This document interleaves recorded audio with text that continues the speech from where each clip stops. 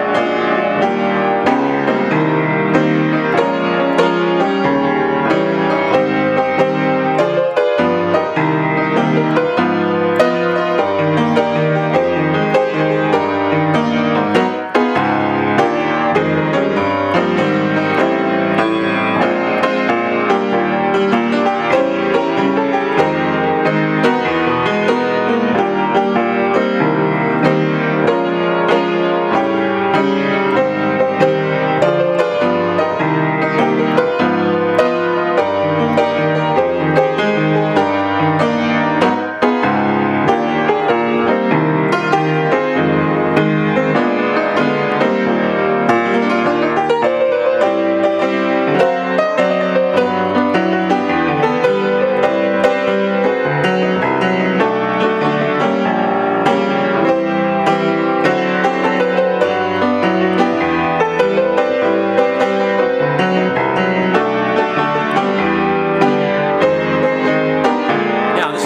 Reharm.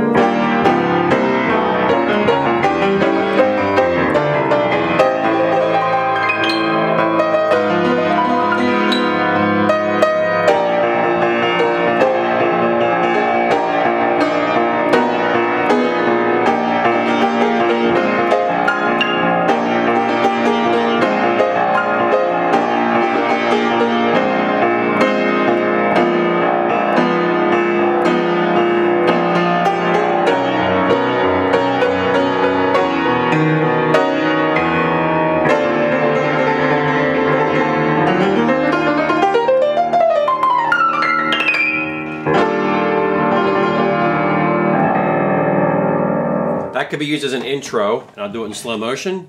This is kind of based on Bud Powell's version, but sort of with my own twist.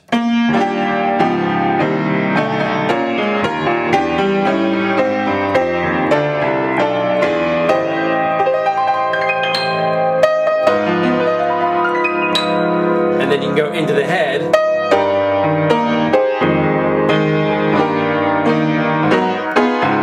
Or into the outro. Thank you.